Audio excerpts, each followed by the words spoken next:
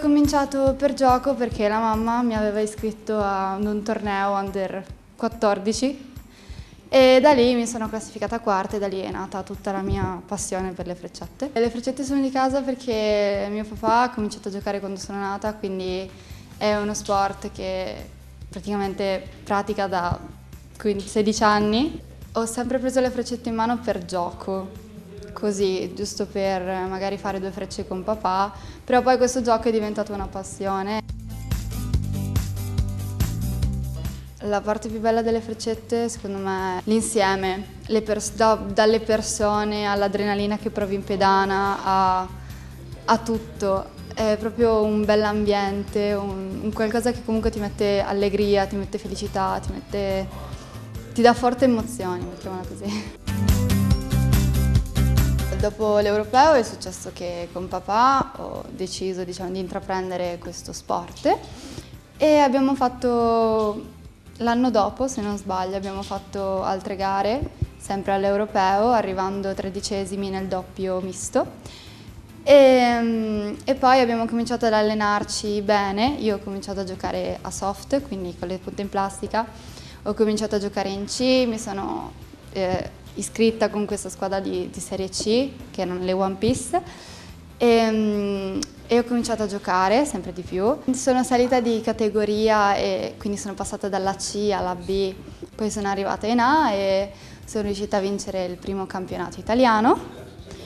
E poi ho cominciato sempre di più ad appassionarmi, riuscendo a, ad avvicinarmi anche allo sport, sport, cioè allo steel, quindi alle punte in ferro, e vincendo quest'anno a settembre l'italiano.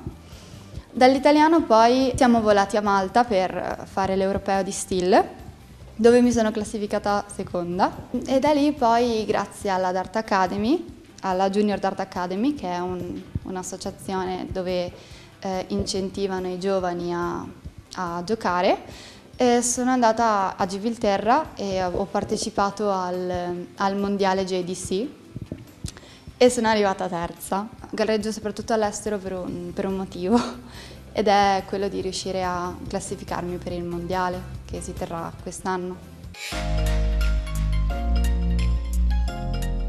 Io sono una studentessa del Paolo Sarpio a San Vito e um, solitamente mi alleno uh, una volta al giorno per un'ora e mm, diciamo che l'alternanza scuola-freccette cioè, non, non, mi pesa, ecco.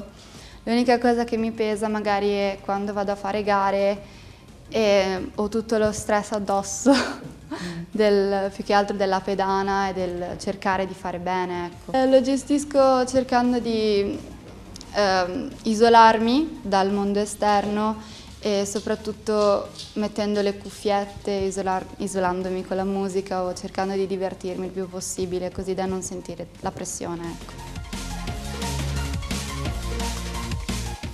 Lo sport delle freccette in Italia è considerato lo sport degli ubriaconi, ma diciamo che questo pregiudizio non deve eh, pregiudicare appunto lo sport perché almeno personalmente io mi diverto come una matta. Punto soprattutto a diventare una professionista perché cioè, mi affascina questo mondo e vorrei dare tutto ciò che ho in, per questo sport. Ho già uno sponsor tecnico che è quello della Wimau. Ti offre un contratto triennale dove ti aiuta a crescere, dove ti aiuta a, a fare anche esperienze e ti fa partecipare a dei tornei importanti apposta per farti crescere, per confrontarti con eh, altri ragazzi che sono a un livello molto più alto del tuo.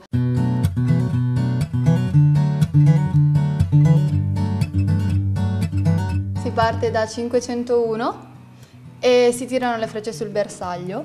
Il bersaglio è diviso a spicchi eh, che all'interno hanno dei rettangolini, mettiamoli così. No, dei rettangoli, questi sono, intendevo. Che mm, e c'è ovviamente il centro. Lo spicchio è diviso in tre parti, quindi è diviso per il doppio che vale per 2, sì. quindi vale il numero, in questo caso il 20 per 2, il singolo che è la parte più grande e il triplo, il, dove il numero praticamente vale per 3. Il bull, che è il centro, e quello verde vale 25, che è quello esterno, che solitamente si usa per i raccordi, mentre quello interno è una doppia e vale 50. L'obiettivo è partire da 501 e arrivare a 0 prima del tuo avversario. Dipende dalla categoria, quindi A, B o C, e in questo caso, cioè, dalla categoria diciamo hai delle chiusure da seguire. Mm. Per esempio in A puoi chiudere solo con i doppi, quindi solo con questa fascia qua e col bull. In C invece se resti a 20 puoi tirare qua, mentre in A se resti a 20 devi tirare per forza al 10 doppio. Per esempio io tiro sempre al 20 perché se prendi magari 3 triple fai 180 che è il massimo dei punti che puoi fare, mentre se tiri al 19 il massimo dei punti che puoi fare è 171. Quindi io personalmente sfrutto soprattutto il 20 e il 19 come, come diciamo scarico del braccio, quindi come rilassamento. E poi ovviamente cioè, eh, si usa tutto il tabellone anche per i raccordi per riuscire a restare con i numeri più, eh, più, più facili, diciamo, più, meno complicati da chiudere. Ecco. Mio papà mi ha insegnato come si, come si, sta in pedana, quindi il buon comportamento contro, no, non contro, ma riguardo l'avversario, quindi come comportarsi, come non comportarsi.